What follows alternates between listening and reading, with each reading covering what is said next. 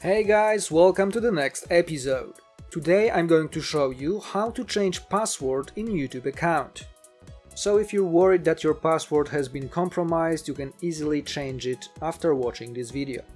Before we begin, click thumbs up, subscribe our channel and hit the bell.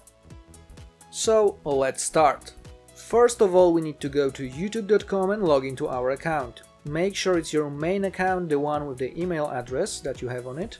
And once we do this, we have to click on our avatar photo in the right top corner and then we need to choose Manage your Google account. After we click on it, we are taken to the settings of our Google account and from the menu on the left side we need to choose Security.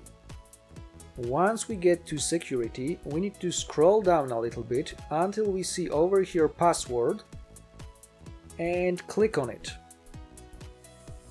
After we click on it, it will ask us to verify that it's really us by typing in our current password. And after we type it in, we have to click next. Once we confirm it, we are able to set up a new password. So you can type in the, any new password you want.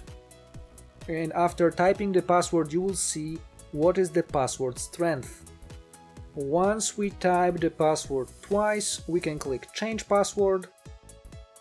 And as soon as we do this, our password was already changed. As you can see down here, my password was changed right a moment ago. So that's it for today. Let me know in the comments if it worked for you, if you managed to change your password. And remember to hit thumbs up, subscribe our channel and share this video with your friends. Thanks for watching.